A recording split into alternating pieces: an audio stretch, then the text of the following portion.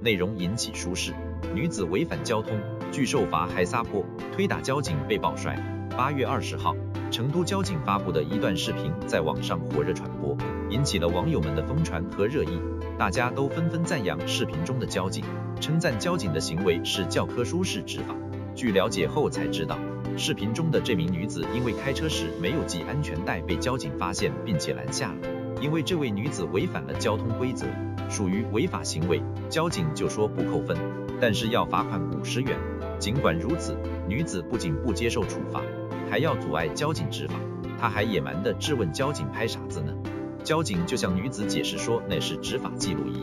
随后女子不服气，气势汹汹地冲到交警面前，多次推打交警，行为大胆，还一边对交警大喊着。但视频中明显看到，明明是他一次次的拍打推搡交警，嘴里却一直喊着说交警打他。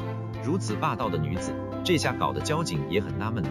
交警就说你在干啥子？搞清楚了哦，这明明是你在挑衅我，难道想碰瓷我？